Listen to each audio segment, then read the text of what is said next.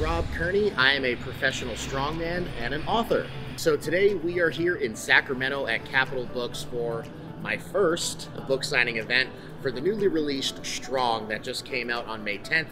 It is a children's picture book autobiography about my life, and really the story is just about once you accept yourself for who you are, you can achieve anything you want. So this is Eric. He's the other co-author to the book. He was at a he was at a bookstore in New York signing some copies, and Bill Clinton walked in and ended up signing a copy of the book, which was pretty unbelievable. I've been following Strongman for like 10 plus years, and every time I try to talk to my friends about it, they're like, okay, that's fine, whatever, it's weird. But they also always ask, is there a gay one? And I could never say yes before. Even as grown men, we were looking for representation. Growing up, I never thought I was possible, right? Because we had never seen an openly gay strength athlete before. And to now be that person that people can look to to say, well, I can do that with my life. You know, this is possible for me. And to see a, you know, muscle bound dude with a mohawk, I don't, you know, I don't fit the stereotype of what people think gay is. And changing that narrative has been really cool so people can see and realize, you know, oh, I can do this too.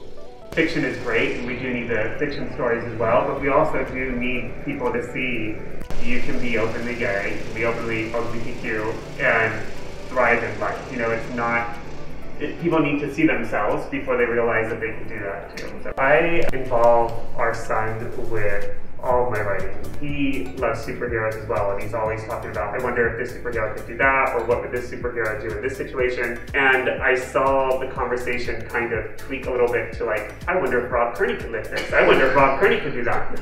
Kind of incorporating it into his everyday life. So that was kind of the an aha moment to me that we were onto something. What are your favorite images that are in this book?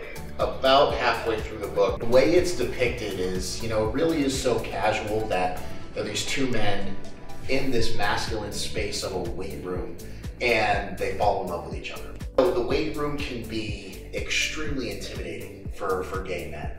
And to be able to show that moment, I think it's, it's a little bit deeper than some might realize. It's not just two men falling in love, but just the fact that they found love in this space that can sometimes be so terrifying for gay men, I think is really, really powerful. The message that we're trying to continue to send is as long as you are living who you truly want to be, um, obstacles become inferior